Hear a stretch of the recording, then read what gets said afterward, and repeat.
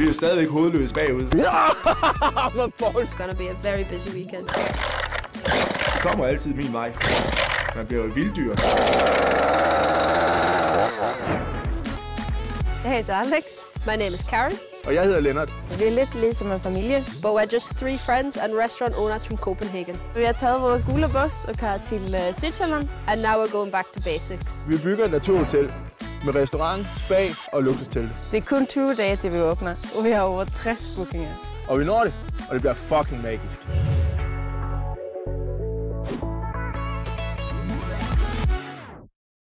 This is a very filled day. No problem. All of the VVS waters going in Og de kommer og laver restauranten. and the electrics coming in. Oh yeah. It's gonna be a very busy weekend.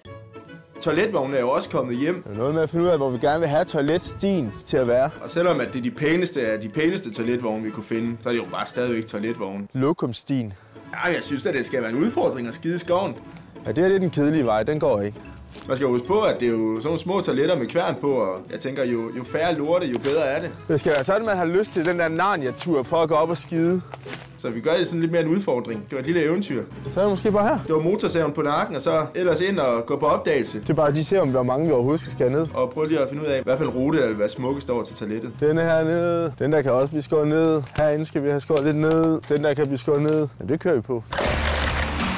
Motorsave og jeg, vi har jo fået et bekendtskab efter mig og Søren mødte hinanden. Og Søren har ligesom givet mig et eller andet kærlighedsforhold til det der møgværktøj. Man bliver jo et vilddyr.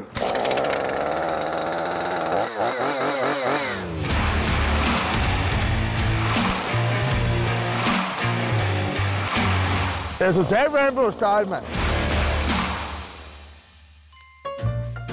Man har jo en tendens til at tro, at det, der skete første gang Pins, den slog sig ned, at det var det største. Men jeg synes jo, vi har overgået det. Vi har jo fået sat restauranten op. Det lykkedes os ved et tilfælde at lære en, der hedder Christian at kende, som så kendte en, der hedder Anders, som så har en bror, der hedder Lars, som tilfældigvis kan alting med alle maskiner, og på en eller anden måde havde slet ikke tid, men alligevel fandt tid. Jeg var jo sikker på, at den der restaurant nok skulle komme op og stå, og jeg var slet ikke bekymret for, at den ikke ville komme op og stå.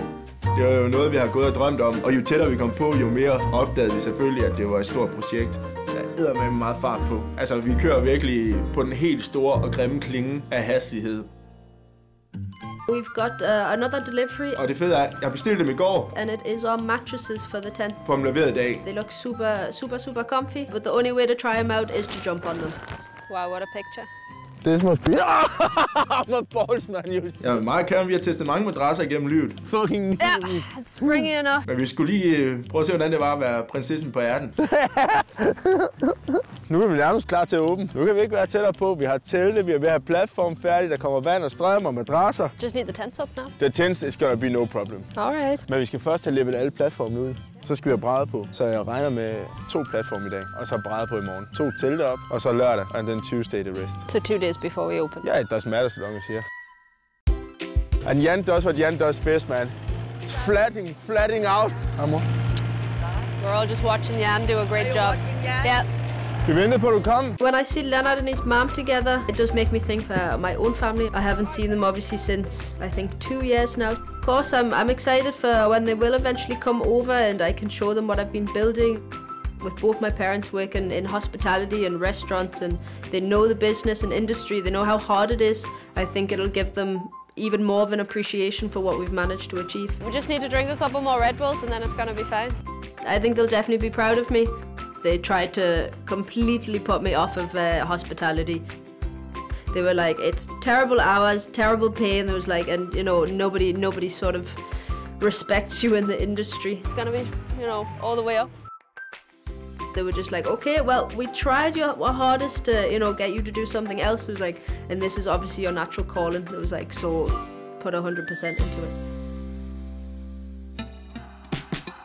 Så er der syv dage tilbage, It's the last last weekend that we have to get everything done. og så åbner Baboots. There's still a few things that we have to do. Karen og Nina og alle dem der, de har sagt til mig, du bliver nødt til at organisere dig selv, ellers så går det fuldstændig amok. It's just gonna be more and more powerful the closer it gets to the closing date. Det kommer altid min vej. It's definitely stressful optimism, but it's still there. Altså, jeg, jeg falder aldrig igennem. Yeah, yeah. Grundlæggende så er vi jo sikre på, at vi når i mål, så, så der er jo ingen grund til at stresse.